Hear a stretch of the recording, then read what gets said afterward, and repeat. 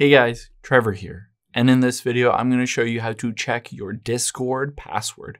It's pretty quick and easy, so let's jump right in. Now I'm going to show you two different options you have to be able to find it. The first one is, let's open up the Discord app here.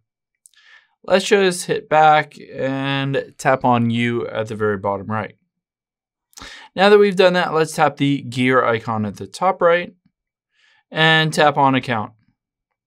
You'll see here if I tap on password, it doesn't show me my current password on the app itself, but I have various options. Let's just go back and back again, and we'll just scroll to the very bottom. And you can tap log out here and log out.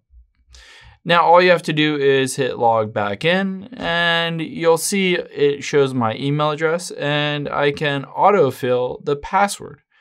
Now right next to it, you'll see the little eye icon. I can just tap on it to see exactly what it is. Another option is if you use Google Chrome a lot, you can always open up Chrome. Let's open it up here. And on here, let's type in my account oh, myaccount.google.com and hit go. From here, you just need to swipe over until you get to security.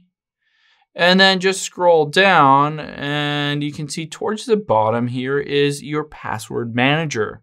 So it says your saved passwords, basically just tap on that and it'll show you every single password that you have saved, including Discord. So go in there and you'll be able to find it. You'll be able to copy and paste it.